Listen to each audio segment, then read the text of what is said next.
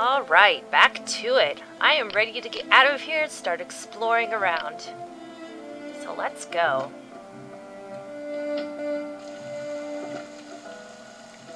Oh, it's rainy and depressing. Uh, anything you can do here? It's the door to the lobby of Percy's flat. It's just a short trip up some stairs to get to his living quarters. The weathered brick building is a textbook example of the architecture in this neighborhood of London. Well, Percy's flat seems pretty depressing for now, but it's probably just because it's uh it's raining. The street lamp casts a dim glow on this otherwise gloomy street. Um, I guess we're walking places. Not gonna get hit by a car, right? Okay. Ooh, okay. So there's Percy's flat and the British Museum reading room. Let's go there.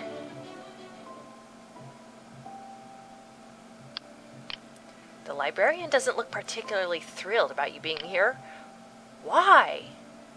What, does he think the whole library belongs to him? What a jerk. Hundreds and hundreds of books are crammed into the, on the various shelves around the room. Billions and billions of books. The large golden clock seems to be a bit slow. the reading room's computers allow access to the British Library's records. A very a large old volume lays open here for visitors' perusal. Okay, is that all we've got here? Oh, brochures. One of several brochures decorate the. Uh, okay, now I'm right about this grammatical error. It should be decorates because uh, uh, the subject is one, and then this is a prepositional phrase, and it doesn't really matter because the subject is still one, so it should be decorates the main desk. I know nobody cares, I'm sorry. You've heard that librarians are notorious for being repressed, but you'd rather not get into any trouble by touching this one. Yes! Touching people pays off at last. There sure are a lot of books in here. Ah, you noticed. Yes, there are. Would you care to guess who has the honor of cataloguing them all? Um, you? Oh my, you are clever. You should apply for a job here. He's very cheerful. Would you mind answering some questions? If it weren't for my job description, then yes. Wow. But as it is, I don't seem to have much of a choice, do I? Wow. How's the librarian biz? I beg your pardon? Business. How's the librarian business? It's not really business at all, is it? He's got a point. It was a figure of speech. I'm sure it was. You know what? For good I asked. Done and done. What can you tell me about the British Library? It's all over St. Pan- Pancras? The actual library, you mean? Yes, this is the British Museum reading room.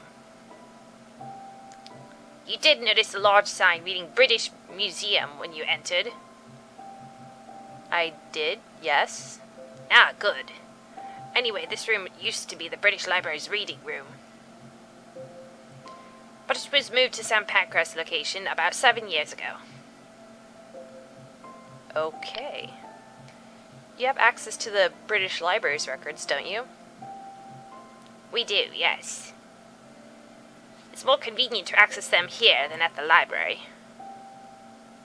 Assuming, of course, you just want a brief glance through the periodicals and card catalogue. That's exactly what I want, yes. I'd like to use one of your computers. Very well. Please be aware that they are for research purposes only.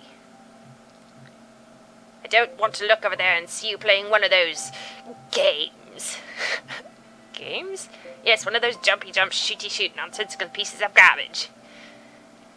Does this guy like anything? Today's youth wasting away in front of them instead of reading.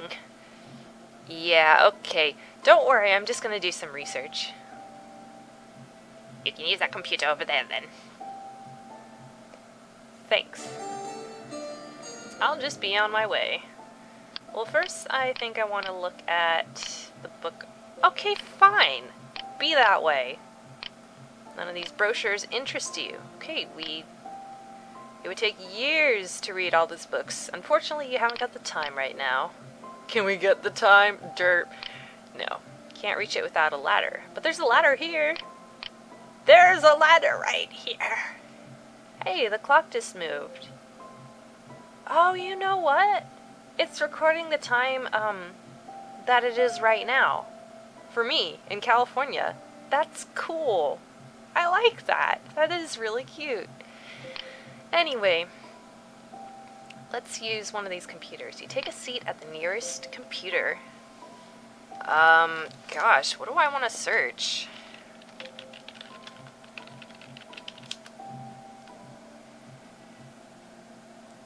London, London clergyman makes good.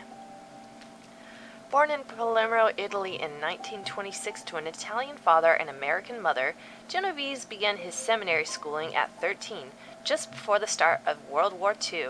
He was sent to London by his parents to be educated at St. Thomas Seminary. Upon completion of his education, Genovese was dealt a tragic blow as he found out upon returning home that his family had been severely affected by the bombing of a nearby village. Genovese returned to London and became the head of St. Thomas, doing many good deeds for the local community. His fellow clergymen wish him the best as he moves up in the ranks of servitude to the Lord. Okay, well, I want to. Crap. Uh, what do I want to look up? I feel like I haven't really learned that much. Um. Diocese of London?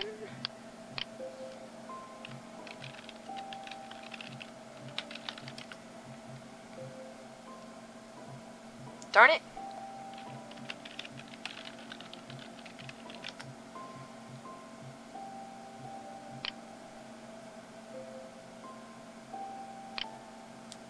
Let's see. St. Thomas Seminary. Oh, maybe I could find that place and like ask around there. Yes. Uh Oh crap. Which one do I want? The Archdiocese of London, Ontario. Okay, that's definitely not what I want. Invites you to begin your spiritual journey at St. Thomas Seminary. It seems this is the wrong London. Yeah, no kidding. Whoops. Oops. St. Thomas Seminary, 720 Mar- Marylebourne Road, no- Northwest? No, New. I don't even know. I don't. I don't know. I don't. I don't. I don't know how addresses work here. London, England. Missouri is kind of a long way off. This doesn't seem to be the correct place.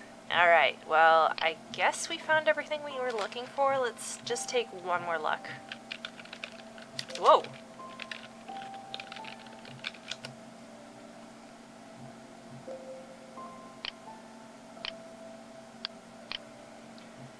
Blah, blah, blah. St. Thomas. No, okay, I think we're done here. Unless we could, like, look up joke stuff.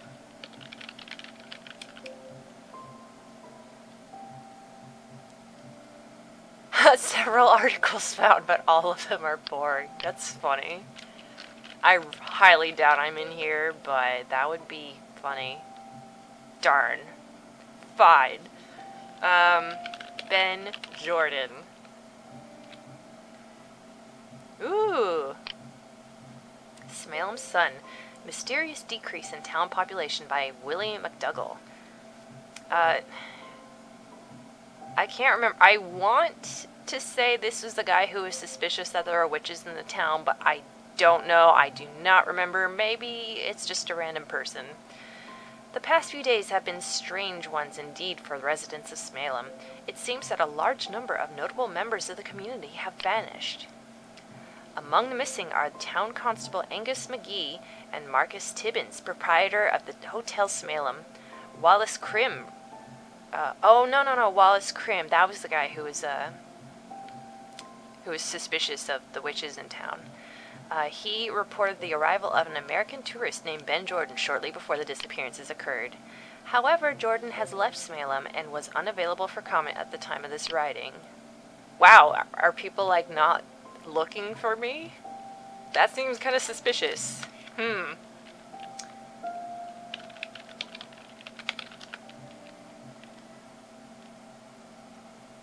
Oh, God.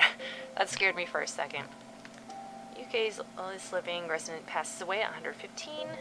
Alice Wilkins, Smailham resident and oldest living person in UK in the UK and possibly the world, passed away today at the age of 115.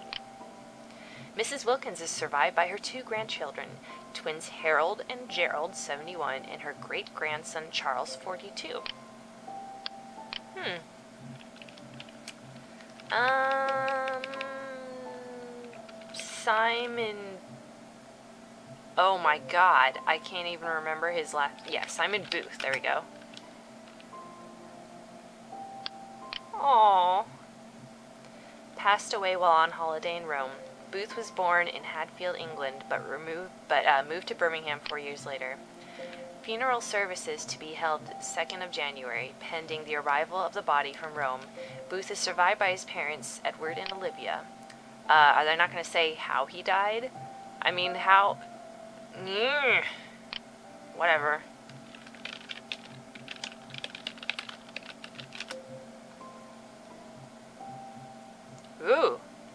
Article permanently unavailable. Oh man. Percy, you are so mysterious.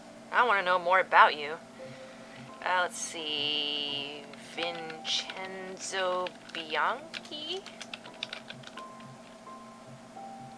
I hope that was his name. I don't know. Bianchi. Okay, fine. I think we're done here. So, let's see. Okay, we did that. That's done. So let's get out of here and see if we could go to St. Thomas.